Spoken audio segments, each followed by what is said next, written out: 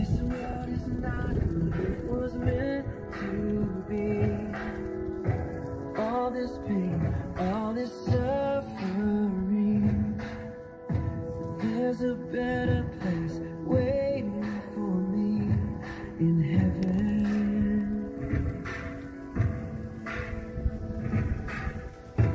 Every tear will be wiped away.